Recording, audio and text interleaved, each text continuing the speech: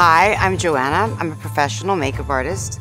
I knew what I wanted to do since the age of nine. I've been in this industry for over 20 years. I started in Europe and now I'm in Los Angeles and it's landed me working with celebrities like Denise Richards.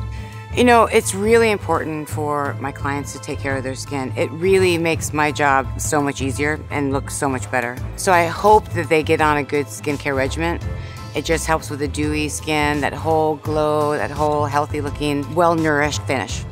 It's really important to prep the skin, so before I apply makeup, I like to use Orogold serum, the eye serum, and the cream.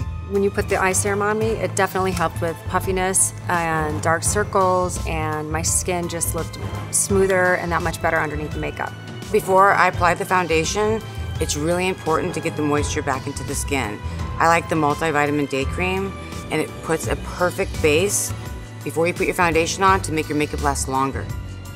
I love using the Orogold Day Cream too because it reduces lines and it's an amazing base underneath the foundation and my skin feels really hydrated. What makes my job easier, especially with Denise, is when they take great care of their skin. I mean, that's first and foremost. And then a great foundation is imperative. Um, Orogold's 24K Mousse Perfecting Foundation is amazing. Gives the most beautiful velvet finish.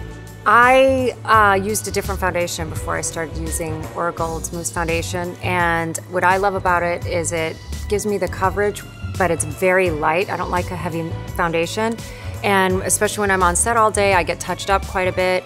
It dries my skin out. This is very long lasting without drying my skin out, and it's just got a beautiful finish where my skin still looks like my skin.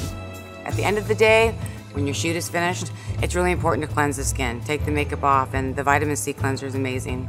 And you can put a vitamin C serum right after. Makes the skin feel really hydrated and great all night.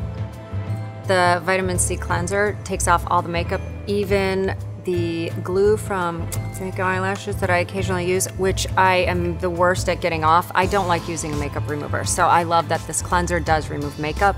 And I always love using a serum day and night. So my favorite one at night is the uh, is actually the vitamin C serum. It makes my skin feel even in the morning. I still feel the the silkiness of the serum, and my skin looks and feels softer.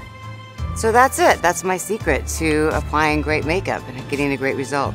Thank you, Orogold, for making my job easier.